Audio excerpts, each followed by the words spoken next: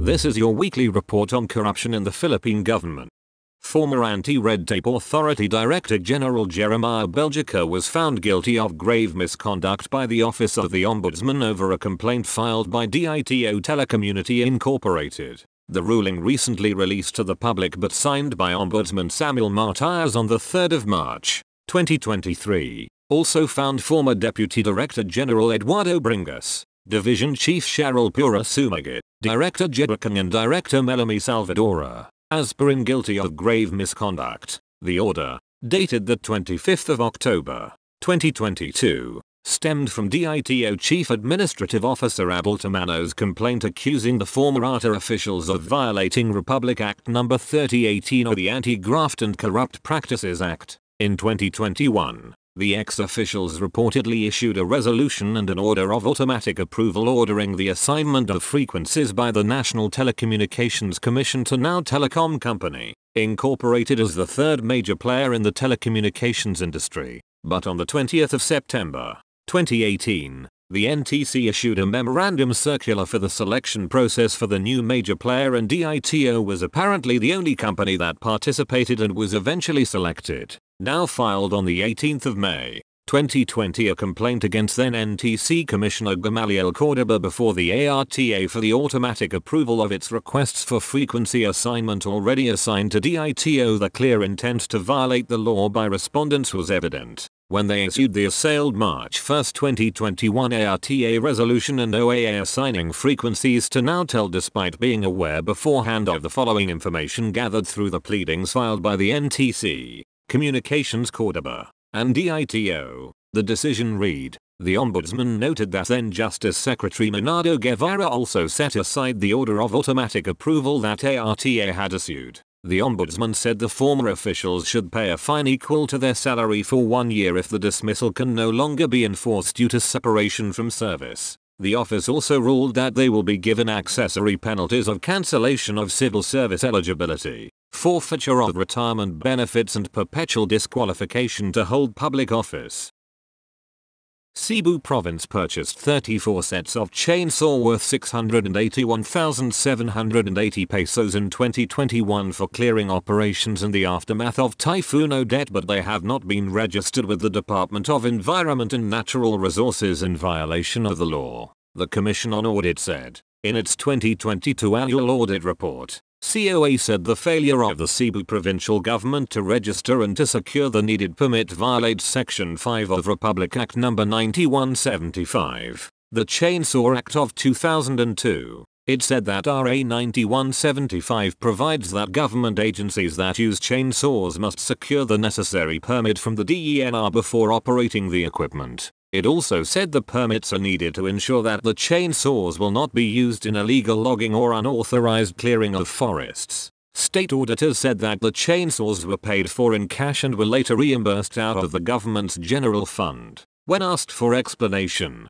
COA said that the Cebu Provincial Disaster Risk Reduction Management Office reasoned that they did not apply for registration because the purpose of the chainsaws was for clearing operations due to Typhoon Odette. Cebu's PDRRM cited RA 10121, the Philippine Disaster and Management Act, which reportedly provided an exemption for chainsaws bought for disaster operations. But COA said, while the purpose of the purchase of these 34 units of chainsaw is for disaster response, neither RA 9175 nor RA 10121 provides for the exception for registration. The audit team understands the urgency of the clearing operations after the onslaught of Typhoon Odette which struck the region on the 20th of December 21 but now that the situation has already settled, there are no more impediments to have the 34 units of chainsaw registered with the ENR so as to comply with the requirement of RA 9175 and contribute to the attainment of the objective of the state to regulate the ownership,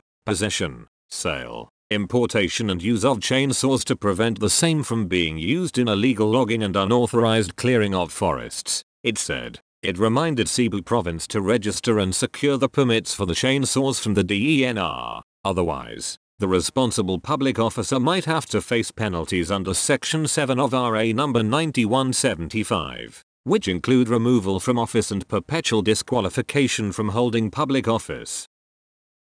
A barangay chairman gunned down a drinking buddy in Barangay Talahiban, Oquendo District, Calbayog City, Samar on the 27th of July. Police identified the victim as Jason Leoan Perilla, 41, farmer, from Purok 2, Barangay Tigb, Calbayog. Initial investigation disclosed that the victim and suspect, Joseph Bello, 43, chairman of Barangay Talahiban, and four companions, Tiburcio Paliark, Ramil Panzulo, Michael Ande, and alias Joey, were having a drinking session in Bello's house. The victim and suspect engaged in a heated argument and Bello went into the kitchen. Bello appeared with a gun and shot Perilla in the back, killing him on the spot. Their companions scampered to directions and Bello fled to an unknown direction. The Calbayog Police Forensics Unit recovered three fired cartridge cases for a 45 caliber pistol in the crime scene.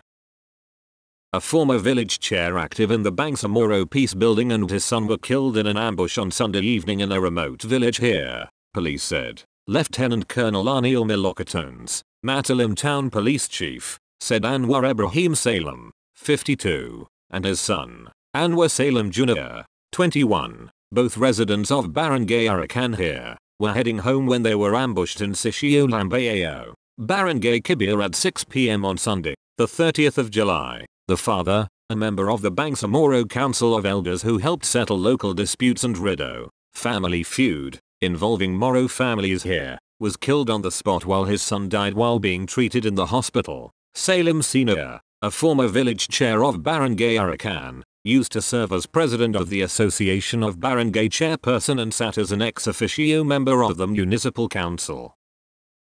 The Commission on Audit has flagged the Metropolitan Cebu Water District for seven unfinished and overdue infrastructure projects with a total contract cost of 235.880 million pesos. In its the 20th of December 22 annual audit report published on its official website, COA said these projects are either due for termination, not yet started, suspended, ongoing, or completed but incurring significant delays ranging from 45 days to 8 years. Thus, government funds were either tied up on the unimplemented, uncompleted, and delayed projects and deprived the concessionaires of the benefits that could have been derived from the immediate use therefrom, the state auditor said. These projects, COA, stated were started as early as 2013 and awarded to different contractors. Three projects with a total contract cost of 63,012,002 pesos were for termination due to various issues. Some of these projects are also still in the planning stages, with delays of 3 to 8 years.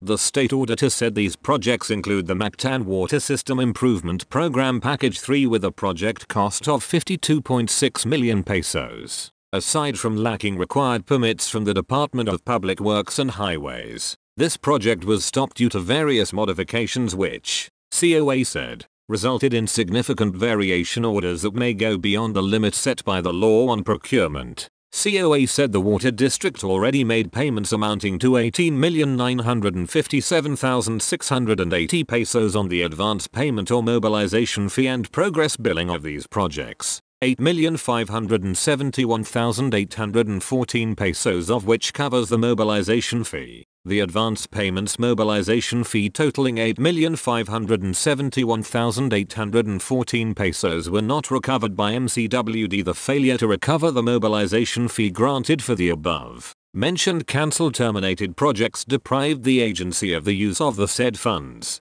COA report reads, moreover, COA noted four other projects that were not completed within their contract period. These projects have a total contract cost of 172.868 million pesos. Of the four infrastructure projects, two were completed but with delays ranging from 45 to 964 calendar days. The state auditor said contractors of these projects have been subjected to liquidated damages, except for projects contracted by JFAP Construction Optimus Engineering and Construction Joint Venture and Patrina Construction and General Merchandising which incurred delays of 48 days and 444 days, respectively. COA recommended that MCWD intensify its regular monitoring and supervision to ensure its timely completion and to demand immediate refund of mobilization fees released to contractors. The state auditor also urged the water district to ensure collection of the liquidated damages for delayed projects.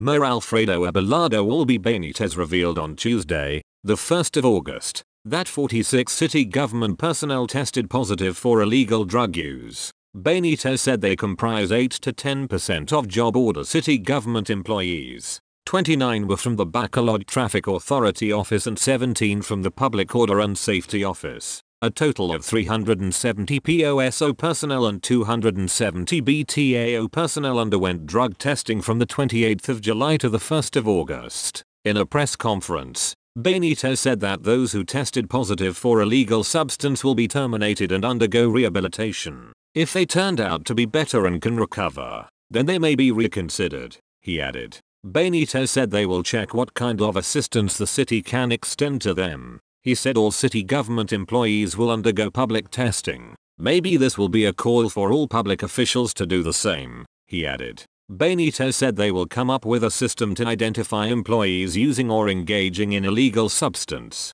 He, however, isn't sure if it is allowed or illegal to make this mandatory. But, ideally, everybody should undergo that course, he said. Benitez noted that the drug testing is proper to enable the public to have confidence that government servants are not involved in illegal substance.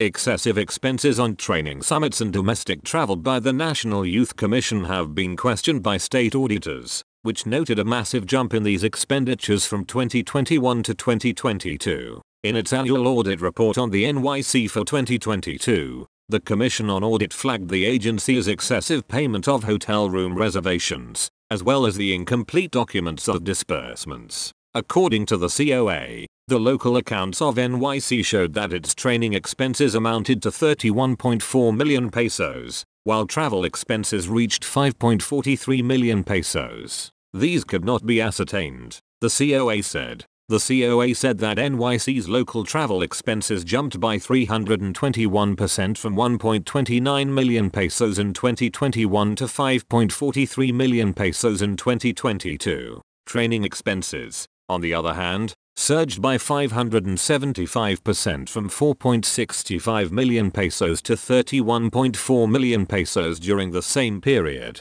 Auditors also said there was a lack of proper planning in NYC's various activities resulting in the excessive payments for hotel reservations amounting to 1.28 million pesos. There were also disbursements worth 675,842 pesos, which were processed and paid without complete documentation. From the COA's observations, the activities had meals, room and venue reservations more than the actual participants, hence the excess of reasonable limits. But the NYC justified the hotel room reservations, saying, among others, that some summit participants were assigned rooms but did not show up, some confirmed their attendance but did not push through for personal reasons, some tested positive for COVID-19, and some booked other hotel accommodations because they had companions. Although plausible, the above mentioned justifications could not be validated and accounted for since these were unsubstantiated for lack of proof such as medical records and letters from the participants, the COA said.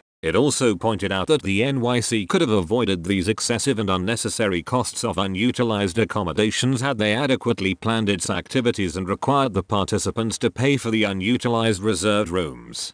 COA also observed the improper processing of travel expenses amounting to 72,272 pesos as the disbursement vouchers did not bear the approval of the proper officials. Audit of these vouchers also showed that the payee was also the person who certified the disbursement. The COA said these transactions bypassed the appropriate disbursement controls, which may result in abuse of power and pecuniary loss for the government.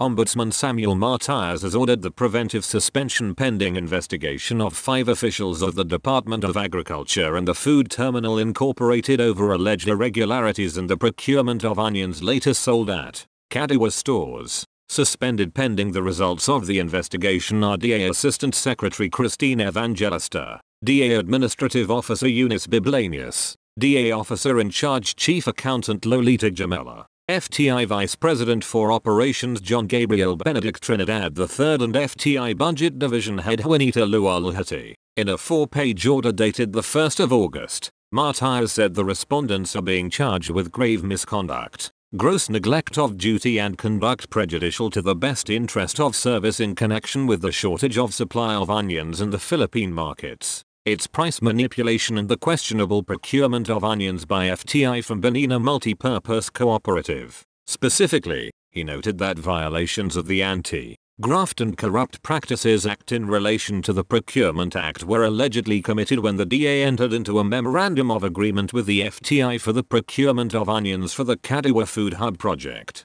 FTI, in turn, entered into a letter of agreement with Benina Multipurpose Cooperative for the delivery of 8,845 bags, about 247 metric tons of onions. Among alleged violations were the lack of parameters in the selection of cooperative that will supply and deliver the onions, questionable advance payment of 50% of the contract price, non-compliance of the memorandum of agreement, partial implementation of the contract and doubtful deliveries by the cooperative, According to Martires, it appears that the evidence of guilt of respondents Evangelista, Bablanius, Jamela, Trinidad III and Lualhati is strong and the charges against them involve grave misconduct and gross neglect of duty which may warrant their removal from the service, the ombudsman's order stated. Considering further that respondents' continued stay in the office may influence potential witnesses and may prejudice the case filed against them due to their continued access to documentary evidence relative thereto. This office exercises its power to place respondents under preventive suspension, it added. The five officials have been placed under preventive suspension without pay for the duration of the proceedings, but not exceeding six months.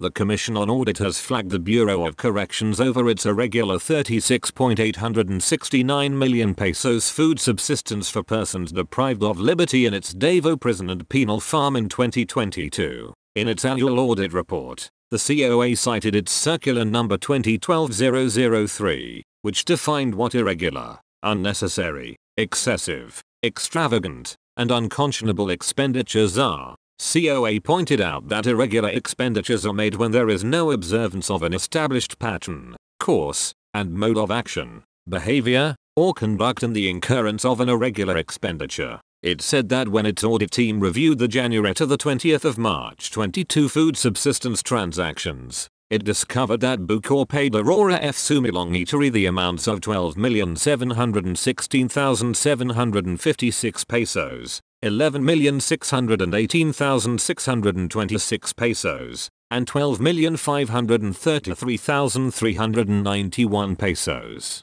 The disbursements were made in the absence of any bidding process or through alternative methods of procurement, COA said. The only basis was the notice of extension of contract dated the 20th of December, 2021 address to AFS Eatery notifying them that the 2021 FSA is extended for the period of the 1st of January to the 31st of March, 2022. It was signed by Undersecretary Gerald Q. Bantag, Director General of the Bucor being then the head of procuring entity of the agency since procurement is centralized. But COA said the extension of contract indicates irregularity since it did not adhere to established rules, regulations, and practices on public bidding or alternative methods of procurement. It said, therefore, it is clear that the extension of contract is irregular because it is without legal basis due to absence of any authority to do so. The apparent disregard of the provisions of COA Circular No. 2012-003,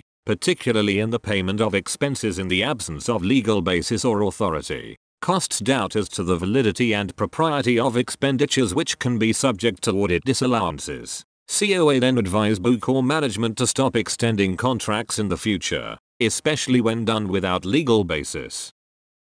That's all for this week. I'll see you next week with more stories of corruption and foolishness within the Philippine government.